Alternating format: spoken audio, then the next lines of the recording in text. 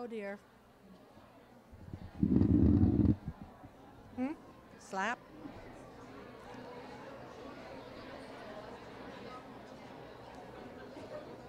Could we have everybody take their seats, please?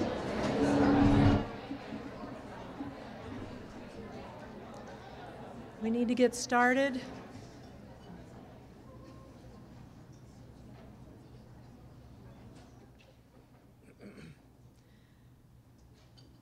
Supposed to introduce the dean, so the dean should probably be here, right? Before I do? Oh, there she is. Okay, good. Welcome to the University of Michigan School of Nursing Research Day for 2018. I'm Janine Holden, and I have the privilege to serve as the Associate Dean for Research at the school and to have worked with the excellent Research Day team led by Dr. Laura Gultekin and staffed by Bethany Osborne. Laura's here. I don't know where Bethany is. She's wandering. Okay. Um, who planned this great program. And I want to also give voice to the other members of the committee, Marianne Rosenberg. Somewhere? Okay. Uh, Jessica Sita, Harang Gang, it's wrong here. Uh, Lynette Jones, Michelle Pardee, Mike Brinich in communications, and Laura Cinco, who served as our student liaison. I think that's the first time we've had someone do that, and that worked out well. It's an exciting time for research. We're discovering amazing things that improve health care for all. And research is everywhere if you look for it. For example, I recently read that research shows that women who carry more weight live longer than the men who mention it. At least that's what it says on my refrigerator magnet. um, so we have even more important science than that for you today. In addition to our innovative program on the science of teaching and learning, we have 36 posters from faculty, PhD and DNP students, and from our undergraduates, including our honors undergraduates. And I hope you'll take time to visit those posters during the breaks, they're over there and engage with these students and faculty. It's a lot of fun. We also have lying around some of our brochures on the state of research at the School of Nursing. If you haven't seen the brochure, I think you'll be impressed with the quality of the research our scientists are doing at the school. Um, and speaking of scientists, it's my pleasure to introduce Dean Patricia Hurn. Dean Hurn has been the Dean of the School of Nursing for almost two years now. She came to us from the University of Texas system, where she was the Vice Chancellor for Research and Innovation. Dean Hurn earned her BSN at the University of Florida and her PhD in physiology at Johns Hopkins, where she also did a postdoc in biomechanical engineering. She has a long history of research funding and a large number of awards for that funding. And her most recent work, if I, if I got this right, um, is on, I think, I think her history is on cerebral edema, stroke and cerebral edema and ischemia. And I think her most recent work has been to use both clinical and basic science approaches to look at gender differences in responses to ischemic brain injury and the role of sex hormones on this type of injury, which is uh, pretty timely stuff since we all have some sort of sex hormones anyway. Okay, I have learned a few things about Dean Hurn in the past two years. I know that she is a strong supporter of science at all levels of education and a strong advocate for the School of Nursing. I know that she's jumped out of a plane and lived to tell about it. I know her favorite drink in college was scotch. And I know that she is wicked smart. Dean Hurn.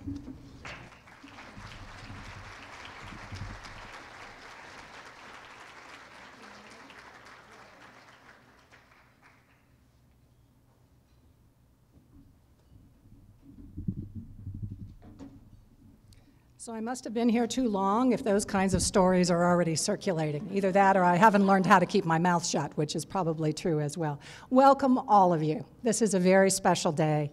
Um, our research day is treasured by all of us because it's a time for us to really stop and think about science and about why we're here and how we're going to advance the fields of healthcare. Um, the Brouse Lecture, which we'll talk about in a minute, is also very special to us. This is the eighth, if I remember correctly, lectureship. And you'll hear in a minute about the very special individual that's going to give that lectureship.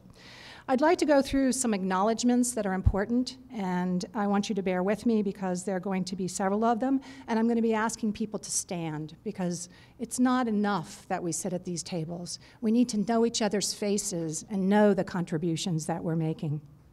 Um, I think that Janine's already done an outstanding job acknowledging the planning committee, so I won't put them through that again.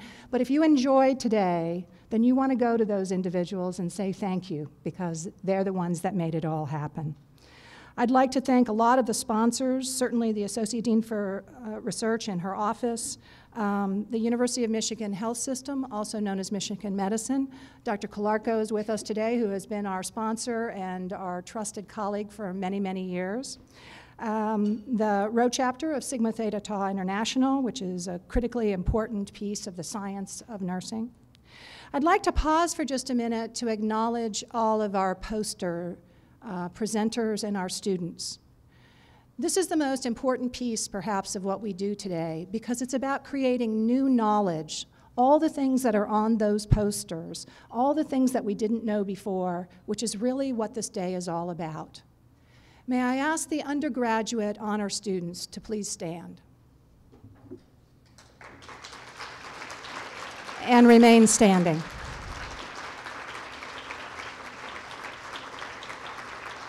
May I ask all the graduate students who are presenting here to stand?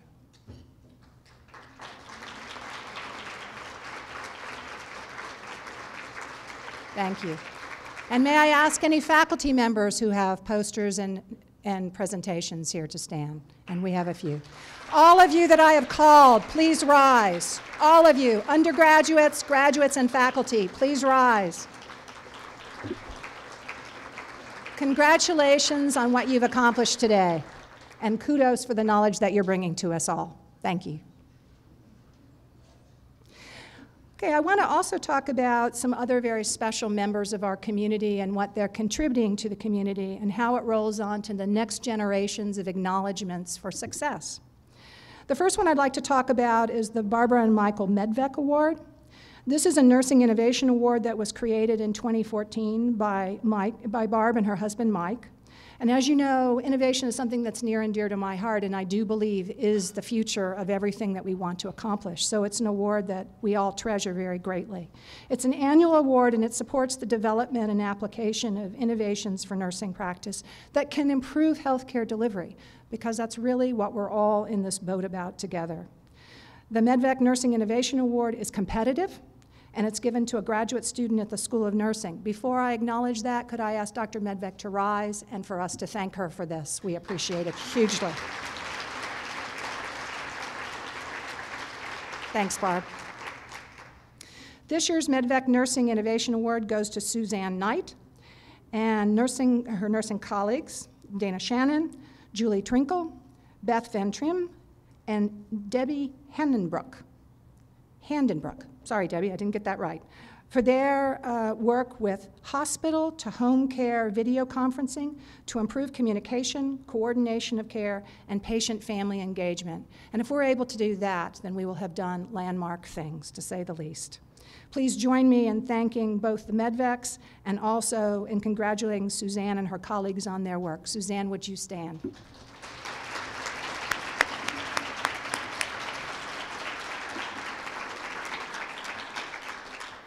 Delightful and important. So let me say just a few words about a very special person who is the founder of this lectureship. And I believe that Suzanne Brouse did this because she believes in the school, she believes in nursing, and she believes in how much we add to the future. Her career began in 1958 when she graduated with a BSN from this school. Education continued with a master's degree in educational psychology, a master's degree in community health nursing, and the completion of a doctoral degree in nursing from Wayne State University. And since her dean from that school is here, we can both acknowledge how proudly we hold her.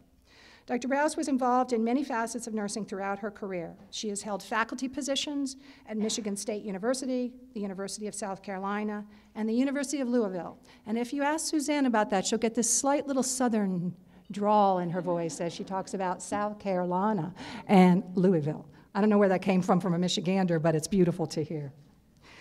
Uh, she has had a very distinguished career, and in 2000 she retired from this long career, but has not given up her active service in the community, and as you can see, she joins us today. Dr. Brouse was inspired to create the Suzanne H. Brouse Lectureship because, as a PhD, PhD student and faculty member, she recalls the research days were some of our most interesting and valuable times, she commented. She also noted that in bringing in renowned experts, we can provide our students with access to the very latest research and help, help them prepare to become leaders in nursing. A very prescient idea and one that we honor today. Would you please stand, Suzanne, so we can thank you and acknowledge this lectureship?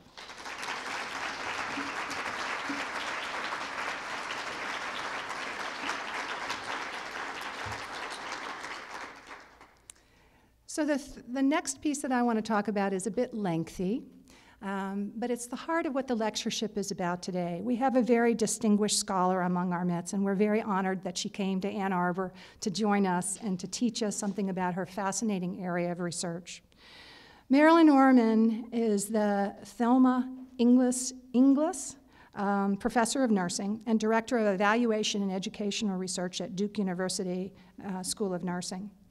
She's had this professorship for a number of years. She is also many of the things that you would expect. She is a fellow of the American Academy of Nursing. She is the editor in chief of Nurse Educator and the Journal of Nursing Care Quality.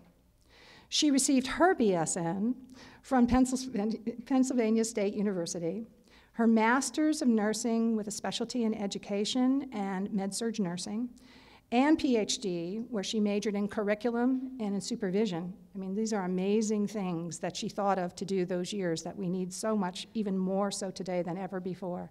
And that degree is from the University of Pittsburgh. She is the author and co author of 21 books more than 165 articles in peer reviewed journals, and many editorials and other kinds of publications. I could list those books, but I think what will be more fun to us is to hear what came from those books and what she shares with us today. As I mentioned, she is a, um, a, member of a number of very prestigious organizations, including the American Academy of Nursing and the National League for Nursing, the NLN. She received the NLN Award for Excellence in Nursing Education Research, the Sigma Theta Tau International Elizabeth Russell Belford Award for the Education for Excellence in Education, the American Association of Colleges of Nursing Scholarship of Teaching and Learning Excellence Award, and I could keep going, and I could keep going. But I think instead of that, may I invite this wonderful woman to come and join us. Let me give her a small token of our regard, and let me get on with what she'll do so well, which is to educate us.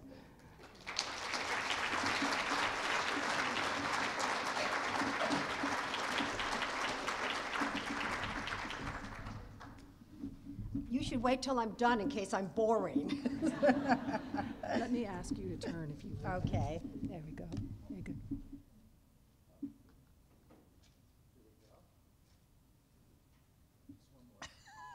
That's always one more.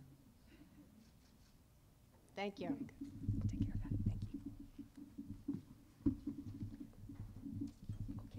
Well, thank you so much for that wonderful introduction, and thank you for inviting me. And I'm actually getting to see people I know and former students because I did spend a lot of my career um, at Wayne State. And I've been able to go other places as well, but a lot of my career was here. And I want to thank Dean Hurn for a wonderful invitation, and it's been just great to speak with Suzanne Brouse um, last night and today. I think asking a person who's done research in nursing education speaks so highly of the University of Michigan. So I have to say that initially, because those of us who have spent most of their career in R01 institutions that only count NIH funding, not even foundation, NIH is the best, it really says a lot about the understanding of University of Michigan that there's other types of scholarship that makes a difference in how students learn. So I really appreciate just that acknowledgement for nursing education as well. So they asked me to talk about my career. Now, they didn't know how long it was on the phone because they couldn't see that white hair. And they told me I only had about 50 minutes. We would be here at least a month if I went through all those years I've been doing something with nursing ed, but I'm not going to bore you with that. I'm going to talk about my career looking and building some evidence that faculty can use to guide student teaching I'm going to talk a little bit about what we know about teacher preparation in nursing. We've gone through cycles, sometimes, like when I did my PhD, there weren't a lot of PhD in nursing programs, so we studied other fields. Po nursing education was really popular, then it was really unpopular, but then there was this wonderful faculty shortage about five years ago, and people said, wow, we better be preparing teachers again. So now we're on the upswing for a while. Going to talk a little bit about that, and then I'm going to end with one slide on dissemination. Because I think you can build a career, it doesn't matter what your area of scholarship is, if you disseminate good work that's done rigorously, you can build a career. So I kind of want to end on that positive note. So I started by teaching clinical 100 years ago, and I realized students seemed really stressed in clinical. So early in my work, we looked at stressors that students experienced in the clinical field. And if you look at this slide, there were four areas identified. Truthfully, if I did this study today, it would probably be fairly similar to current practice. And somebody has recently published a study in Nurse Education Today that found a lot of these same stressors.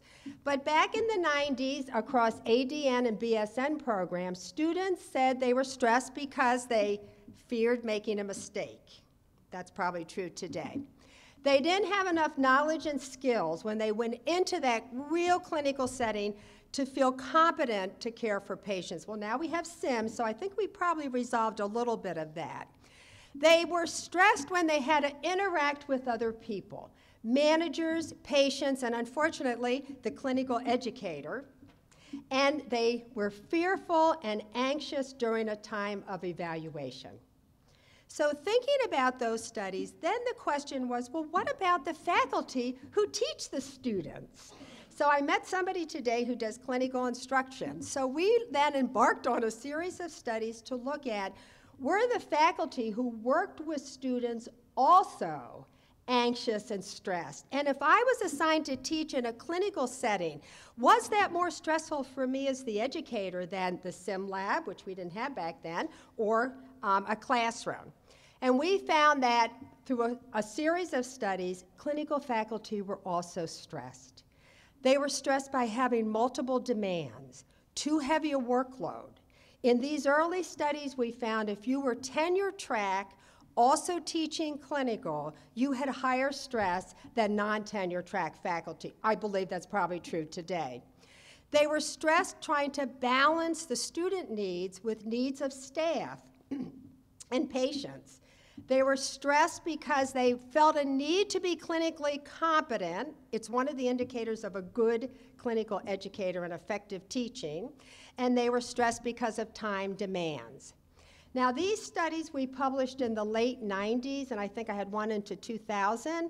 And Robert Lovrick has recently done two studies. One was published in Nurse Educator and one in Journal of Professional Nursing.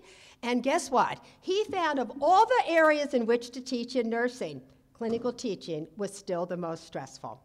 So some of this evidence in terms of thinking about teaching and nursing probably still stands pretty strong today.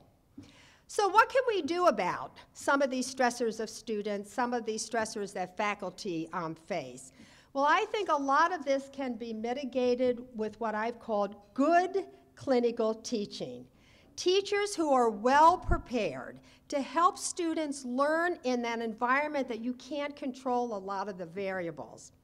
And we know what are factors that influence good teaching. Well, we know number one, a faculty member in clinical who gives prompt, specific, and instructional feedback guides student learning better than faculty who do not. So it could be that's a principle as you think about working with students, helping them fill that gap in their learning. They're probably not as stressed then because of feeling of incompetence, because the teacher's helping fill that gap in learning. And we also know from many studies that students who practice their skills, practice competencies, before they go to clinical that they feel skilled themselves, they're more confident, and they have less stress.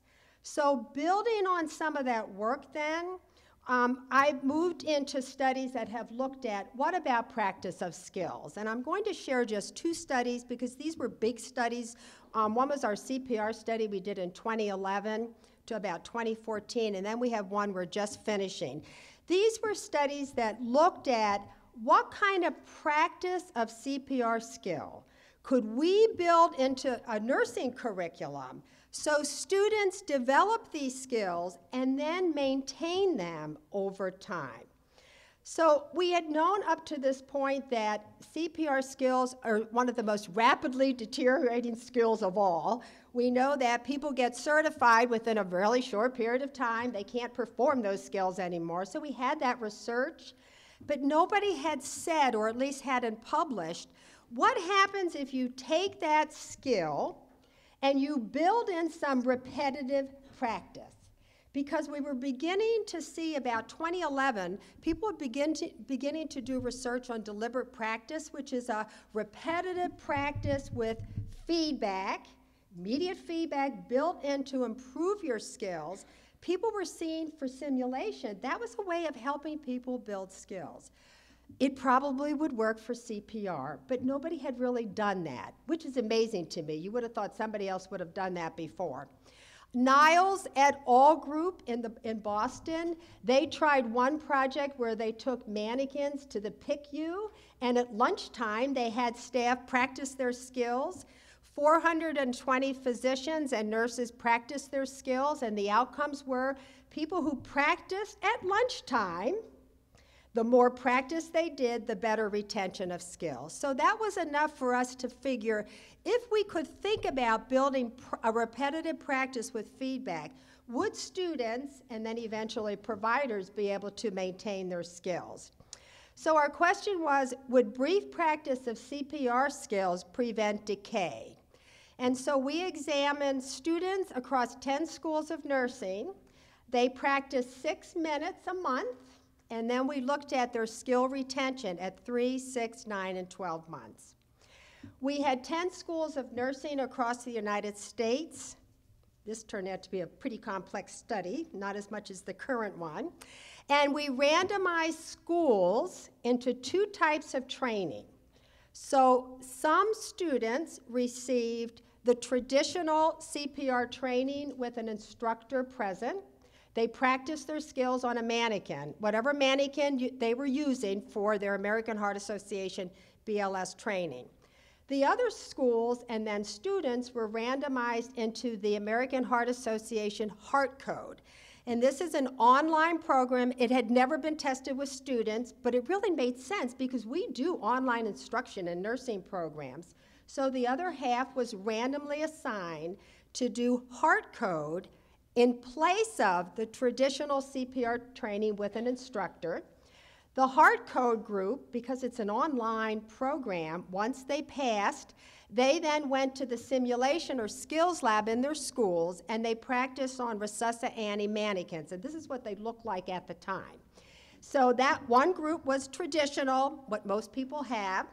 The other group was Heart Code online with mannequins. There were 606 students, and my hair was probably brown before I started this study. Spread across 10 schools, including some community colleges where there's not even an IRB. That's all I have to say. Um, so we had 606 students. They were randomly assigned. The second time, some were in an experimental group where they got certified in CPR. They then, every six, um, every month, they came and practiced in a real controlled lab with this mannequin under the site coordinator. versus a control group. And the control group is what the usual standard is. You get certified, you have two years, and hopefully nobody needs CPR in between because studies show you probably won't know how to do it if you're not in critical care or the ED or some other setting. Every three months, then, we randomly selected students to come back for a reassessment of skills. Now, I consider this probably one of the really important studies I did because we found, actually, because we used this mannequin that recorded all the data, we were able to document that when students mastered CPR and they passed certification, they lost the ability to compress between 9 and 12 months. So we knew in two years when people came back, a lot of people really couldn't do CPR, but we didn't realize the key point was 9 to 12 months. They lost the ability to ventilate after three months. Now, I want you to keep that in mind because I'm going to share our current study. Lost the ability to ventilate um, after three months.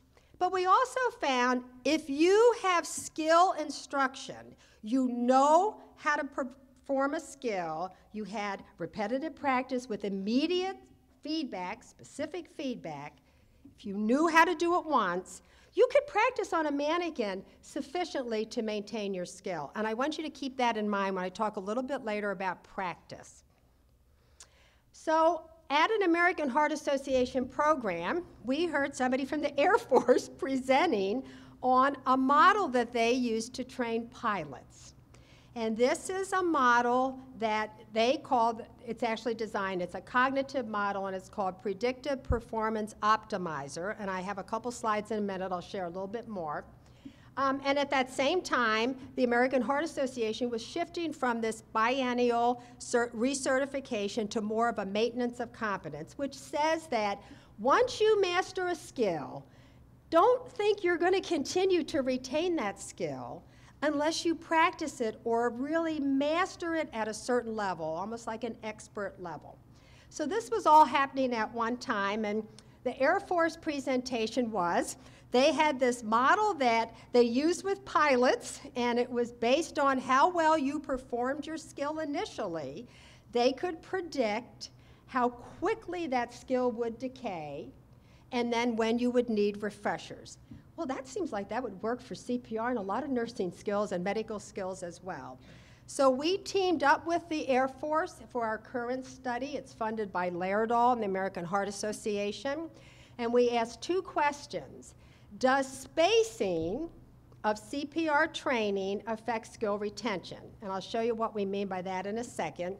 And can this mathematical model that the Air Force used with pilot, PPO, predict when will CPR skills decay, similarly to what they do now with pilots. They come into the sim lab, they do their testing, the data from the initial performance of their piloting skills, whatever those are, are, are looked at into this model, this PPO model, and they can predict when you have to come back.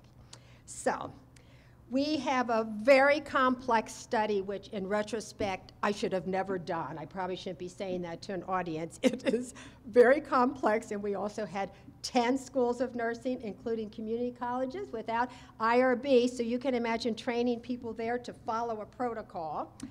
Um, we had four types of training sessions, first of all, followed by four types of retention. So we don't really know what's the best way to train people on CPR. Should it be all at one time? Probably not. Would people master this skill better if they were trained maybe four days in a row to get mastery or once a week? So we randomized and developed four types of training. Students are assessed on their ability to compress and to ventilate because this model, PPO model, has a cognitive piece in between their practice of CPR, students get 15 Japanese words to memorize. And every time they come back, they have a quiz. How many of these do they remember?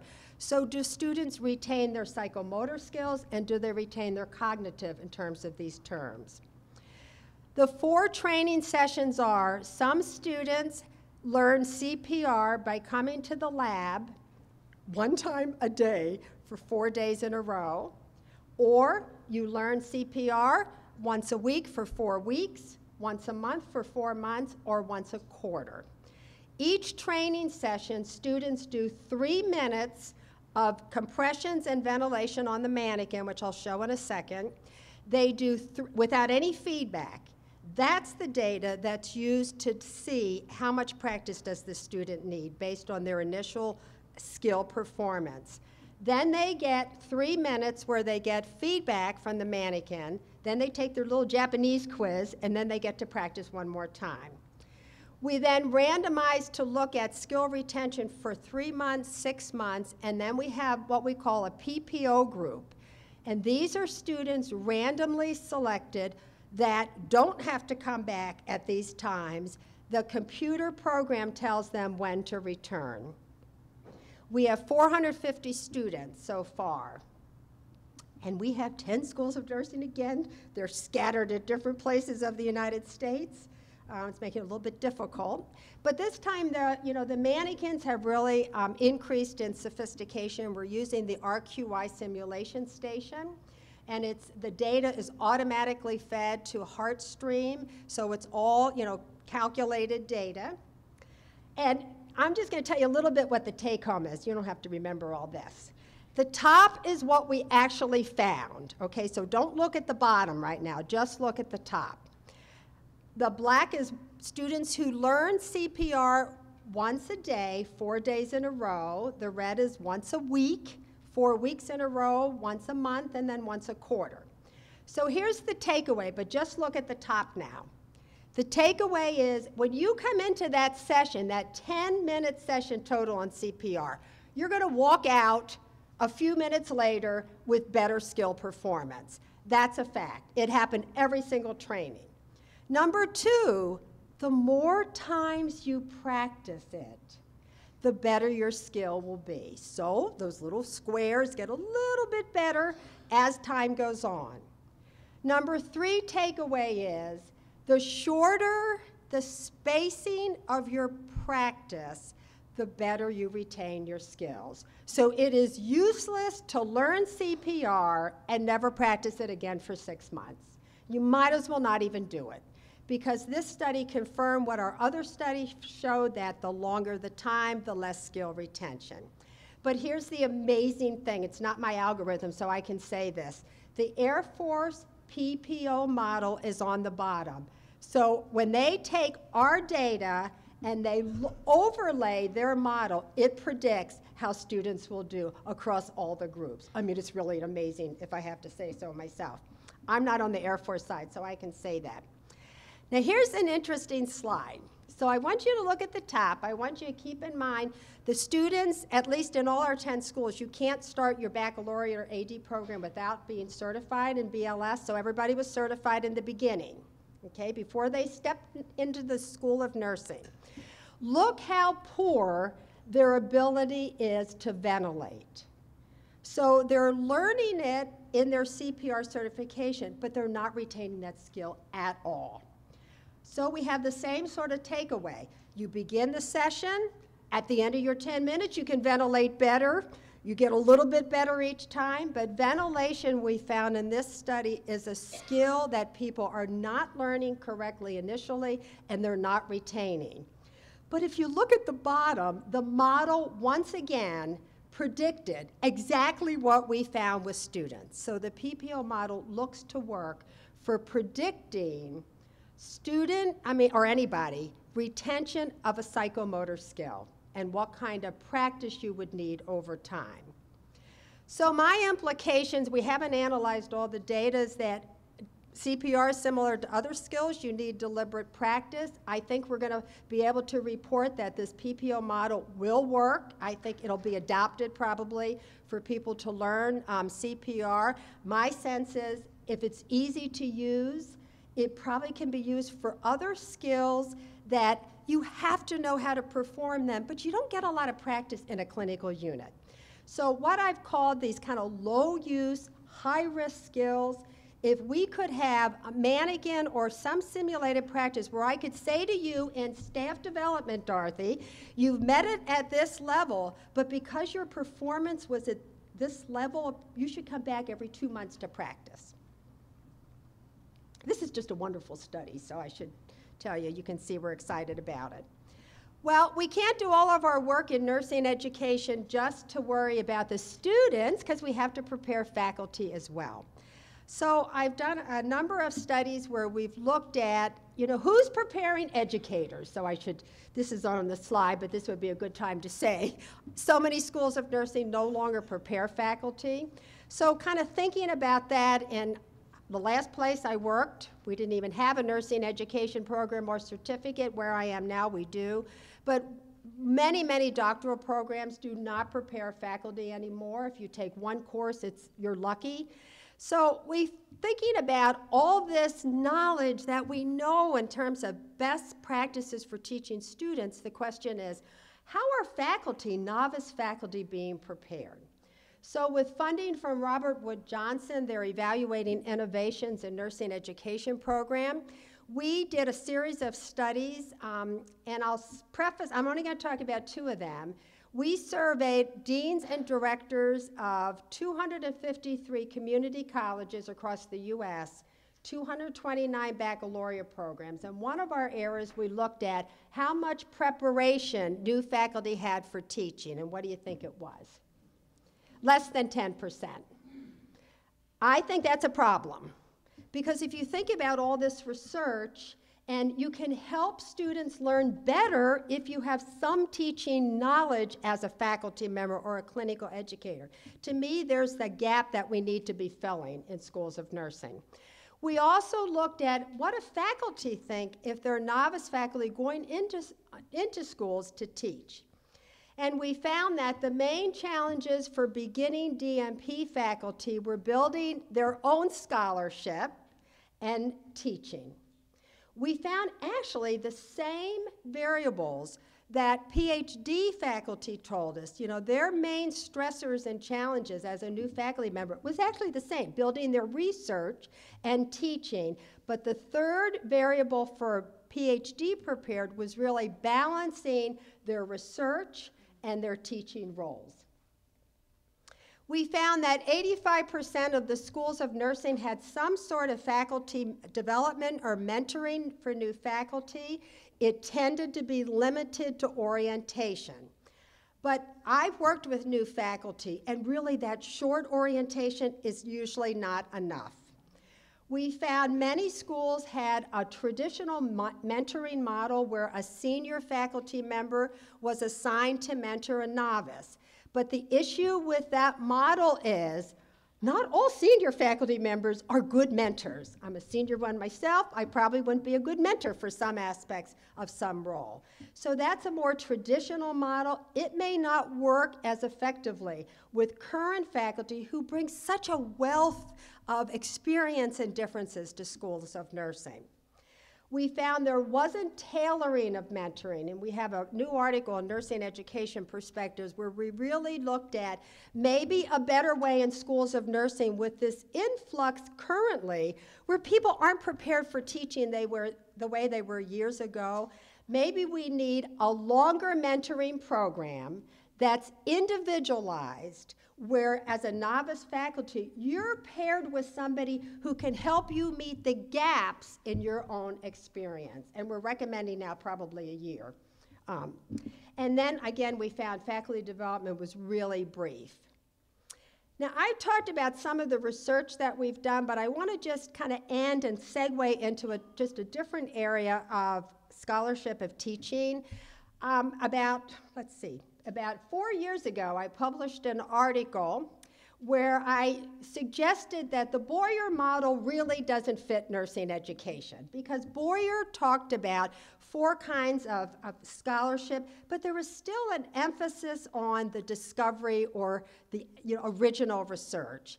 Most of us who do nursing education scholarship, we have some original research, but a lot of our scholarship doesn't fit in that area.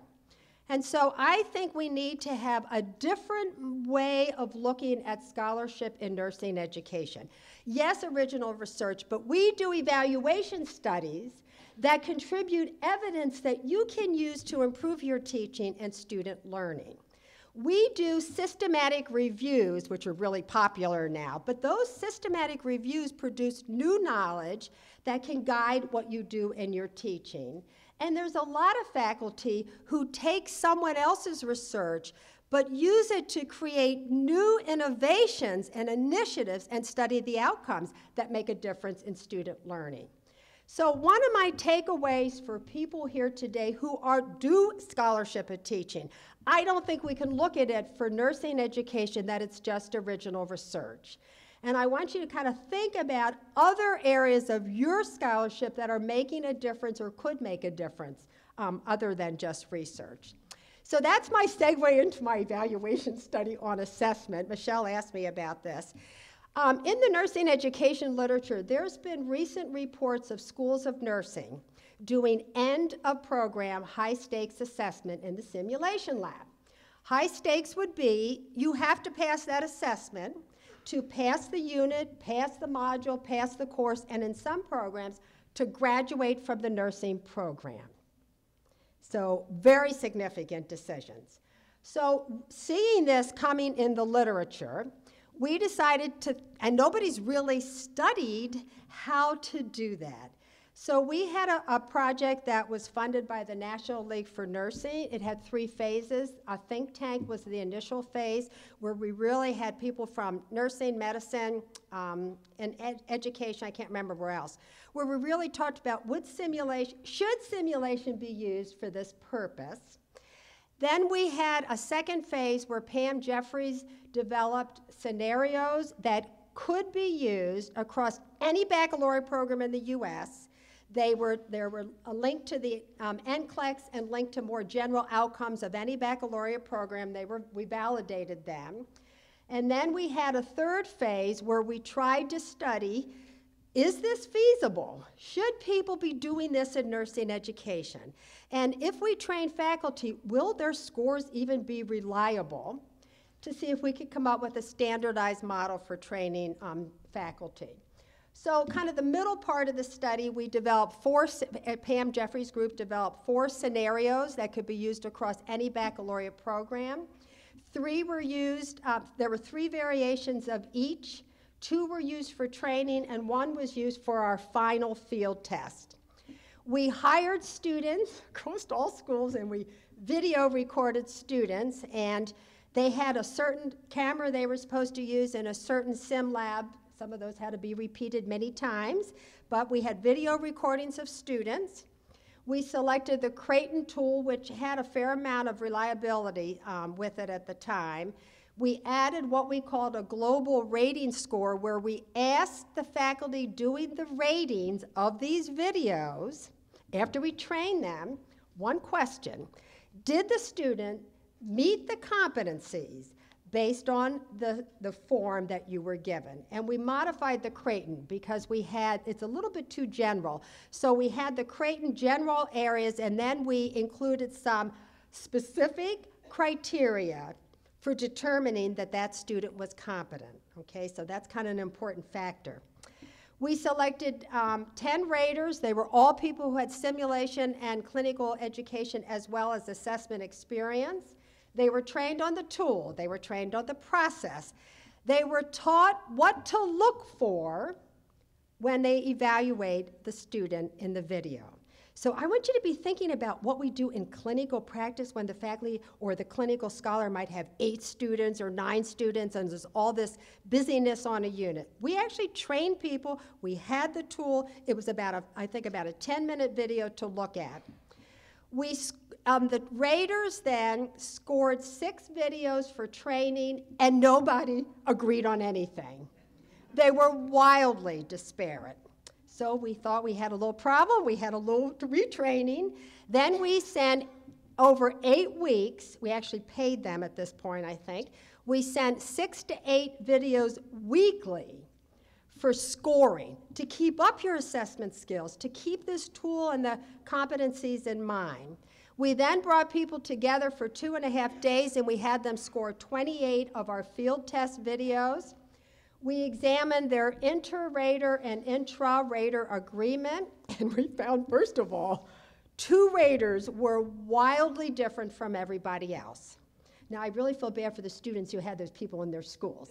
One person rated one video one level one time, and then like two months later had a completely opposite one. And another rater, not one student, met the competencies. Like, that would be the bad one to have in clinical.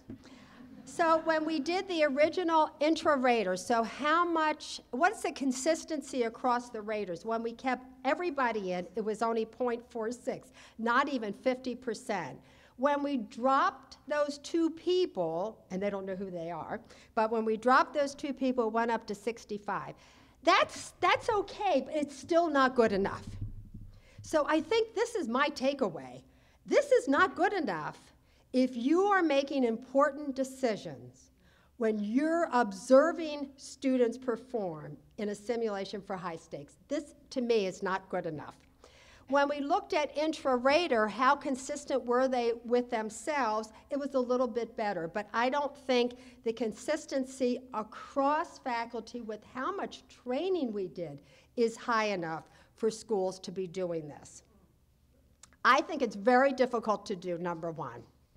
I think the time and effort to develop and validate the scenario, to make sure you have the right tool, and to train raters, you, we might do it at Duke and U of M. But if you think about all the different schools there are across the U.S., many of those schools do not have the resources to do this kind of training that should be done to make these important decisions. And then my last one is in italics.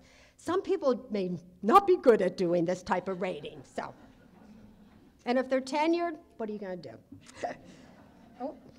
Um, and I just wanted to make one other comment. If you're using this in your school, I'm not saying you shouldn't do it, but I don't think a lot of people are ready to do it in their own school. So I mentioned when I had my own kind of model of the scholarship of teaching that another type of scholarship we do in nursing education are systematic reviews. These are really, really popular now. As an editor, I love them because other people read them and they cite them a lot in articles, so it's really good for the impact factor of the journal. I always try to publish one. Um, but they give you valuable information. So some of you who don't do original research, we're not going to get R01 funding for the most part for nursing education studies, but there's all this other types of scholarship that if it's good, rigorous scholarship that you disseminate, it will make a difference in how we teach nursing students. So this is my segue into the end of the semester. So we're getting ready to do our student evaluations of teaching. Um, probably you are as well.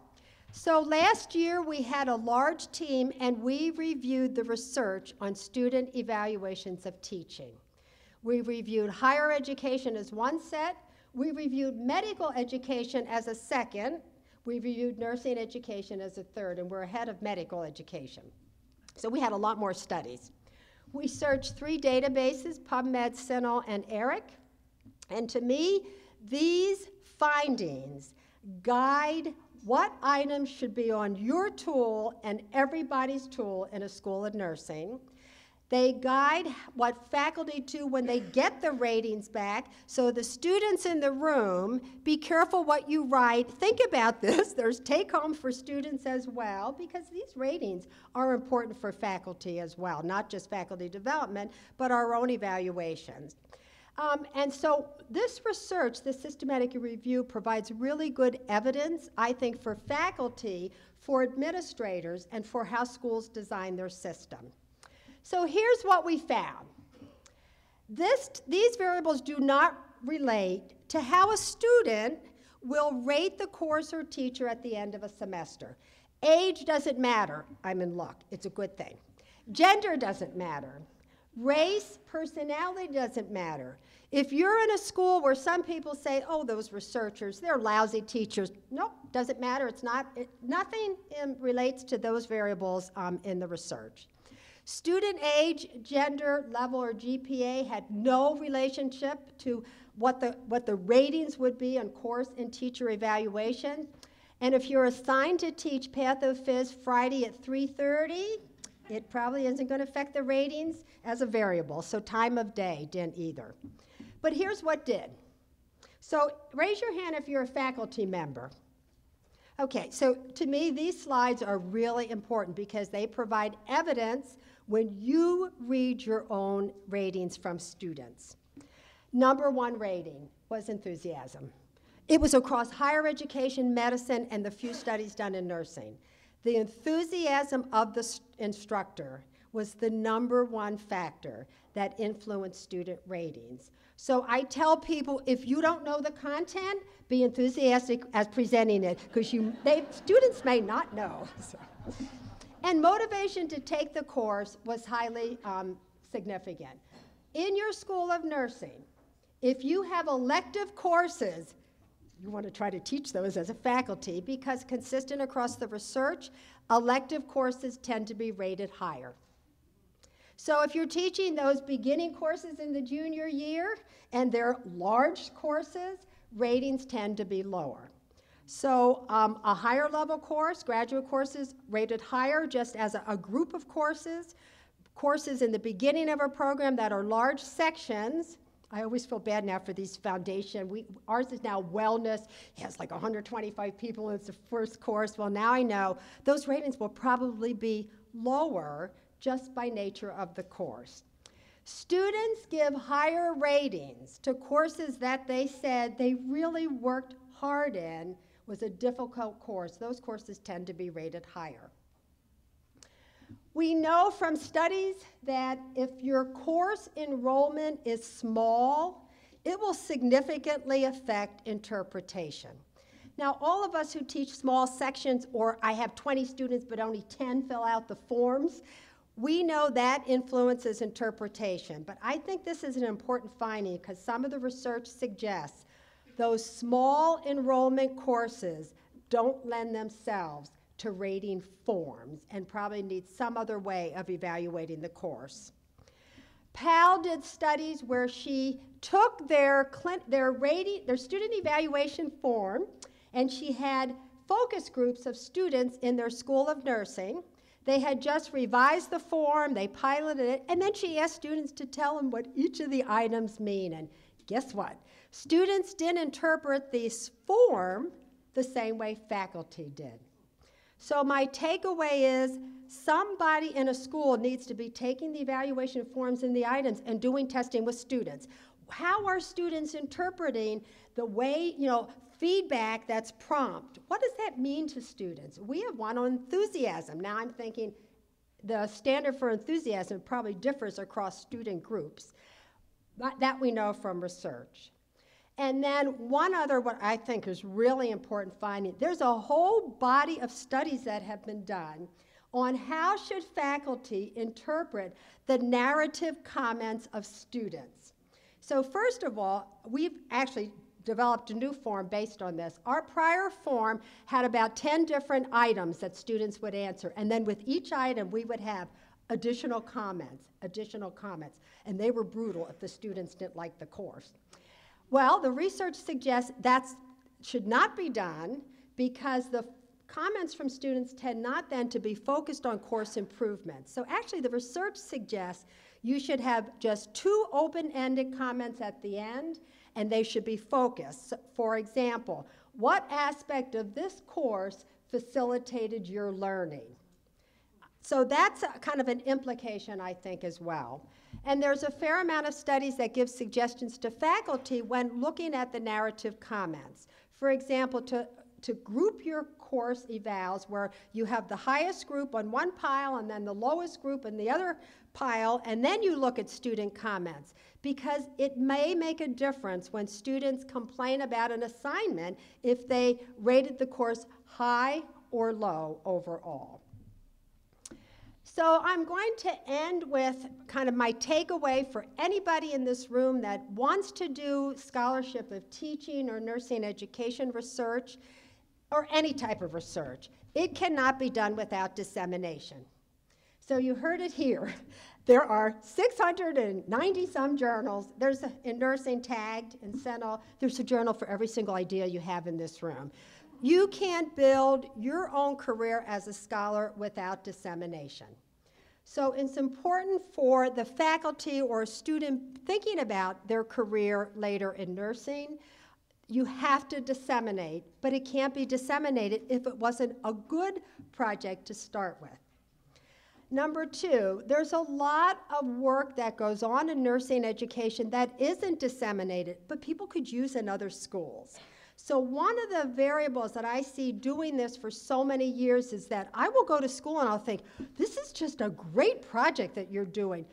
Well, we just tried to do it and it didn't work. It would have been better had I read about this innovation with some evaluation data so I could build on that in my own school. Faculty who want to do studies need to be replicating studies in the literature. So in contrast to clinical pra practice studies that we, that we replicate to build evidence-based practice, in nursing education, most of our studies are a one or a two time study. It makes absolutely no sense. It would be better if you're thinking of a study on X innovation or some aspect of your course to replicate what somebody else had done so we can build our understanding of how it differs based on schools and students. For faculty, turn your work that you do for teaching into scholarship. There are seven nursing education journals. Most of the clinical journals publish educational topics. So it, we have venues for you to disseminate your work. And then lastly, don't do your educational project and then say, wow, this really worked well, or we should have saved all this literature. Think about your publications at the beginning. So when you do your lit review, you do it based on Prisma or some other standard that you can then disseminate, and you have a validated tool, and you save and collect the information to be disseminated at the end. Now I have time for questions. And I have no idea what my time is. I think I'm pretty good on time.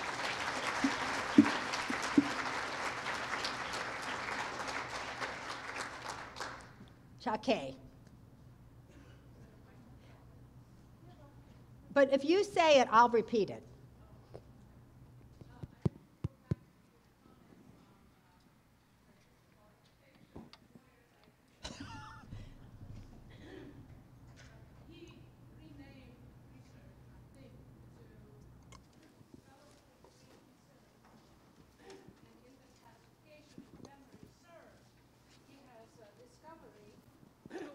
Understand to be the traditional, thank you, research. And uh, then there is application, there is scholarship of teaching, scholarship of application, and then I think there is synthesis or something. So,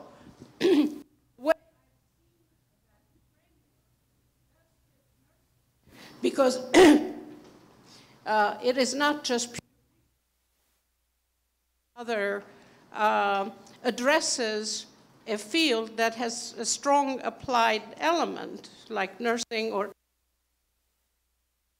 You talk about why you find uh, the idea not applicable to our field. I probably should have said that. See, people are actually listening. It's like a bad thing sometimes. No, but I think Shake's point is that the problem, if you read all of Boyer's work, so if you actually read, when he talks about those other areas, he's really talking about more of an original research to build the evidence, an original research that builds the scholarship of teaching. There's, if, if you look at his writings about that, you really have more of that discovery language through also. Another way we could think about when I had my list of the scholarship, I'd like to build on um, Boyer's work. So if you're comfortable with Boyer, I'd like to add to that and say that development of educational innovations that then are evaluated is a type of scholarship of teaching and learning for us in nursing because we do a lot of educational innovations. Building evaluation into a course that then you have some rigorous evaluation with a validated tool that then you disseminate is another form of scholarship. So I think another way to look at it would be building on his model. Mm -hmm. Talk loud.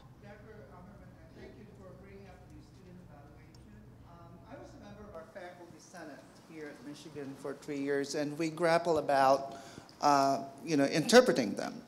Um, from what I know, I look at the literature, there's no publication about instrument development or psychometric testing of what we use, uh, maybe at Michigan or throughout the country. So based on what you presented here, the data, I think it's pretty much, um, I think it's expected data in my opinion. Um, so I just want, um, I think I want to ask your opinion about, about your thoughts about, for us in the tenure track faculty, because usually that's the basis for promotion and tenure. And we are basing somewhat that is not valid.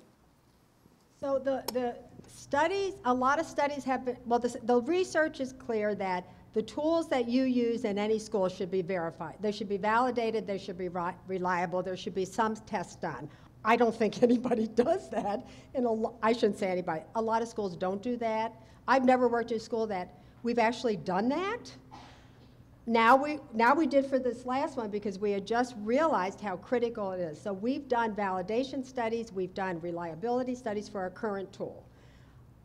That's probably unusual, but it is consistent in the literature, number one. I think the implications for tenure track faculty or any faculty is you need to know what the variables are that affect student ratings. Because when I work with a faculty member who's teaching that beginning course and maybe the evaluations are so low, I can say to that person, this is the kind of course that tends to be rated lower. Or we have a course this term in the master's program where the students didn't get their clinical placements till really late in the semester. I'm going to predict that those evaluations will be low. But that's a variable that we know about. And so I will tell that faculty member when you submit your materials to, for your next level review to put a note that this course, this semester, had this occurrence with students that might influence. Um, and I think any, even if you're not going to verify your tool, I think some focus groups with students, just asking them, what does this item on your tool mean to you? And even just tweaking it might be helpful to build student understanding. We found most forms have less than 10 items. So if you have a really long form, you might shave some of those off. That would be consistent as well. So I don't know, did I answer that? Mm-hmm. So I get the mic, so maybe I get the next one, and then we'll send it down your way. Um, wonderful talk, great ideas. Let's go back to CPR for a minute and the concept of learning while under stress. And I think we know that learning can be enhanced with mild conditions of stress, and that at high levels of stress it can be blocked. What do you know about CPR and teaching and retention from those who have actually had to use CPR on human beings in real situations? Do we learn differently? Do we retain differently than those who have never had that opportunity? Yeah, that I don't know. I mean, there's probably some research, but that I don't know. I think it's a good question. I'm, I'm not sure.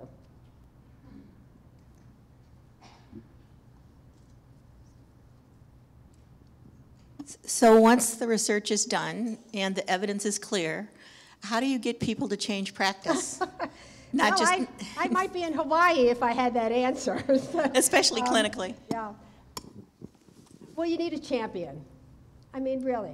Well, first, I think you need two things. One, and I know that Dean and I talked about this earlier. One of the things I found among faculty is people don't go to the literature in nursing education to really inform themselves. And I've worked in a lot of schools in a lot of different positions. I have never worked in a school where somebody has said, well, I think we want to add this technique in our teaching or we want to change the course some way. And then another person says, well, let's go to the literature and see what research is being done.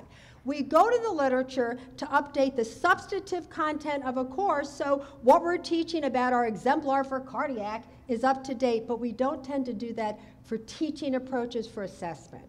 So changing faculty behaviors is one, because that would save faculty a lot of time. Because you might find a couple articles and think, they, this really didn't work. There was no significant finding. Or not doing a post-conference in clinical and doing it online at the end of the week. Five studies have been done. They all show the same thing. That might be a good technique to try. So first is really changing faculty behaviors. How do we do that? We need a course coordinator or a lead faculty, whatever you call them here, that has that mindset. Um, and I think you probably need a champion, somebody in your teaching group that will always be asking, is there a better way? The students didn't like this assignment. Well, why? Did they not like it, but it still improved their learning? How can we find that out? So, just somebody who's always going to keep the education in their kind of mindset when they're making course decisions. Lori? Talk really loud. I'll try. Thanks, Marilyn, for this great presentation. As a dean, I struggle with the, the questions you asked around faculty preparation and faculty development for teaching. So when I think about our new PhDs on tenure track, who, you know, we're, we're pushing and pushing on them to develop their science, to get their publications out, to get that first R01 before a tenure decision, all of those um, milestones around the development of their science, and at the same time, they've had no preparation in teaching. And we expect them to be good teachers. And I worry about adding another layer of preparation along with this pressure and not wanting to kill them before a tenure decision, that they're thinking about, how do I learn to, to be a good teacher? And as you said, our senior faculty mentors are not always the best. And then the other thing I worry about is our curriculum committee. Because after you've been here a year or two, we ask you to sit on a curriculum committee, and we've had no preparation in how to develop a curriculum or how to assess the efficacy of a curriculum or the effectiveness. Any thoughts for Yeah, so that was a, so, you know, did everybody hear Lori? So, well, it was about really the, I'll just narrow it to one sentence, I apologize if it wasn't, but just actually, how can you prepare PhD faculty or DNP faculty? They can't really get one more area of uh, preparation in their programs. How do you do it once they start?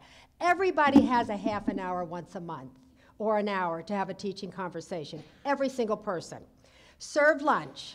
Map out what are the critical components for teaching in your school that you really have to know about to be effective. One hour lunch, everybody can fit in. And plan it out ahead of time. Make it a year. Don't think about that one month orientation. There's way too many things to do. Plan it out for a year. Plan out the content and the competencies. You know, what are the really important skills that you need to do to be an effective teacher in your school? Map it out and have it as a teaching conversation or a, a small group and just do it that way. So we now have, starting this current year, we have a teaching mentor that now you have to work with for a year. We have a research or a scholarship mentor, and now we have a culture guide, just like a person who is for any other questions you have about the school. But if you are the teaching mentor, you are obligated, I don't know everybody does, but you're supposed to meet with your new faculty once a month. And there's more planned discussion. That's easy to do. So I think that can be done in a school that you don't have a lot of time and people are tenure track. So I don't know if that helped. You won't even have to do it a year. You could do it a half a year.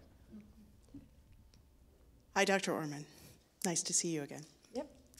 Um, the question is about set scores and how we collect the data. So we've gone to electronic set scores, and it's abysmal.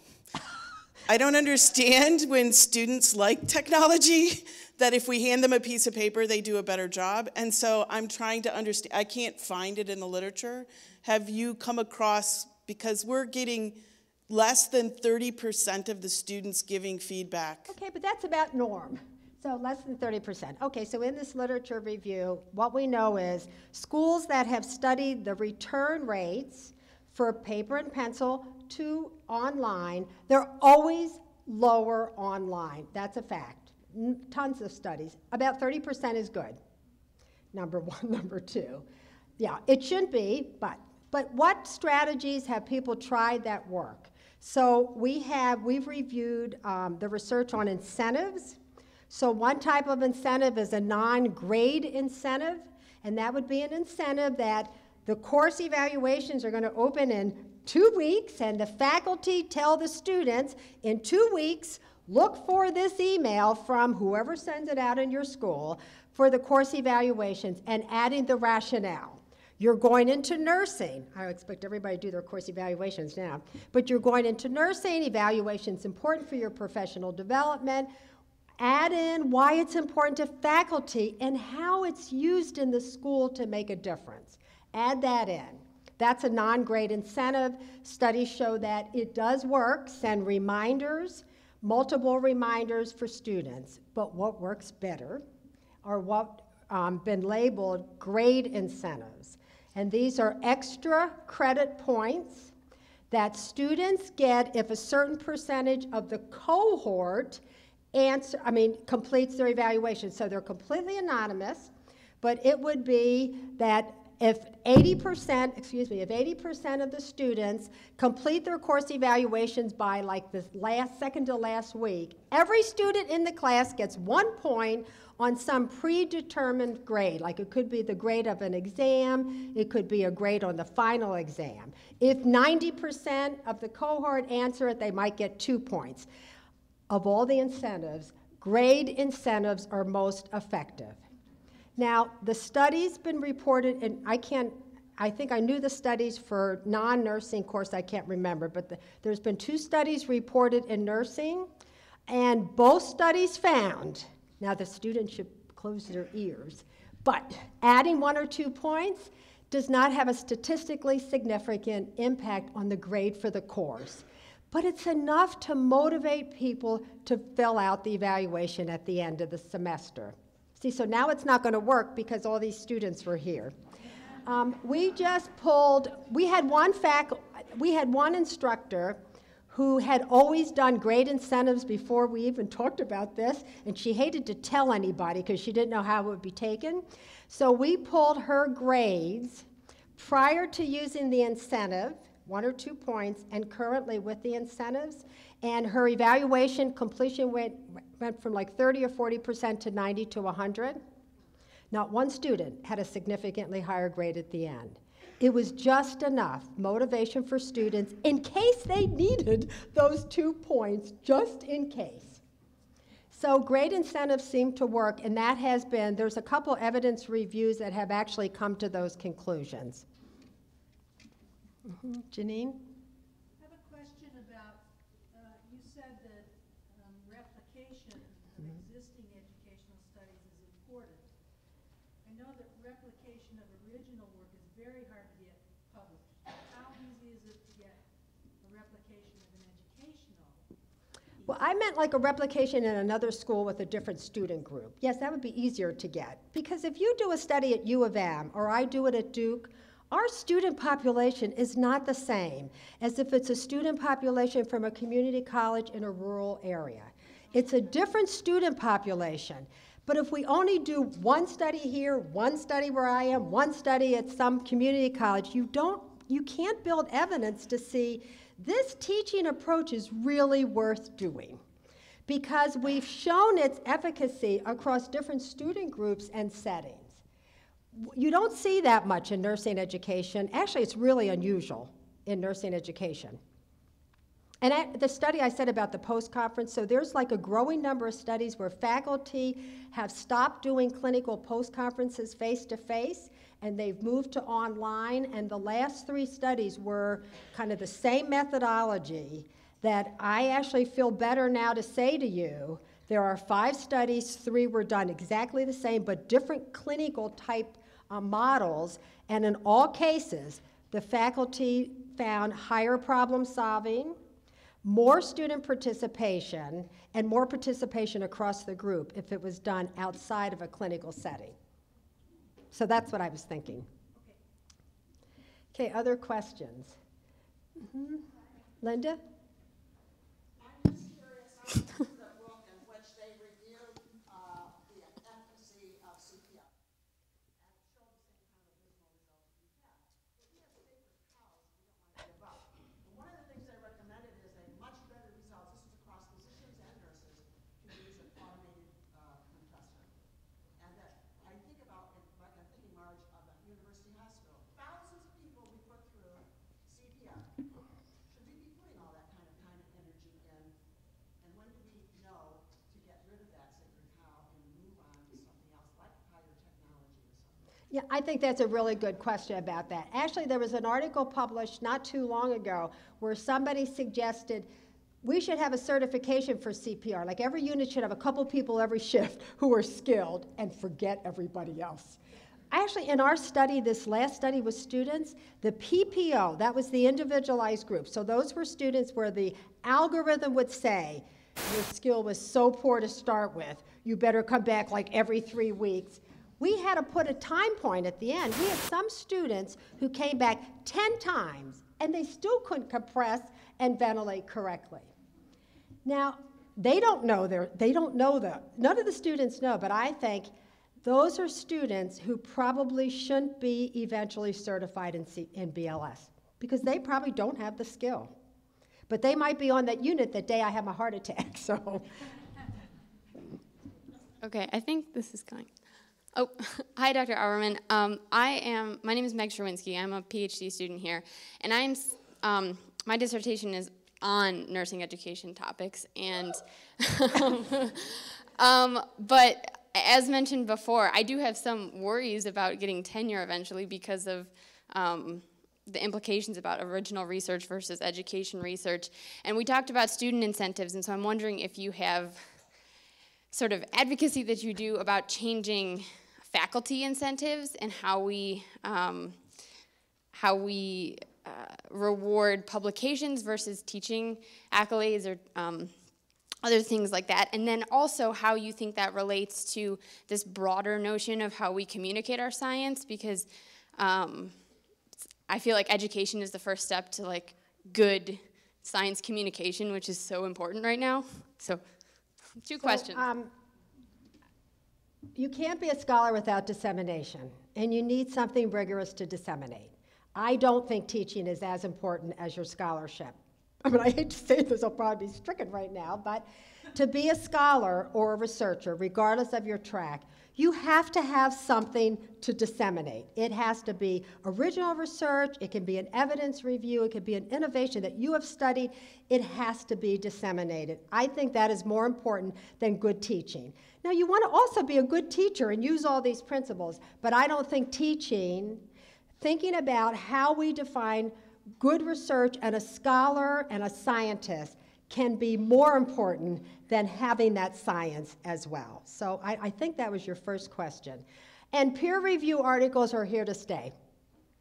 Um, blogs, they're important, but they're not peer reviewed, so that means that nobody's, for the most part, nobody's really giving the critique about that um, writing. So I think it is always going to be peer reviewed. In some fields, it's books, chapters, but in nursing and biomedical, it's peer reviewed in decent journals, and I don't think that's going to change. And it shouldn't change.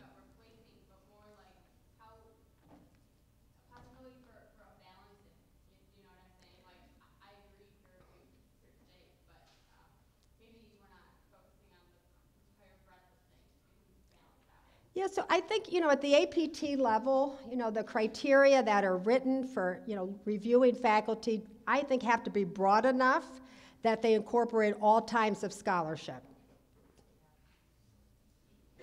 Right, Thank you. We're actually going to cut off questions right now. Um, Dr. Oermann will be back at our panel at the end. Okay. And we'll have the opportunity to ask additional questions to her and to the rest of our panelists. So Thank you.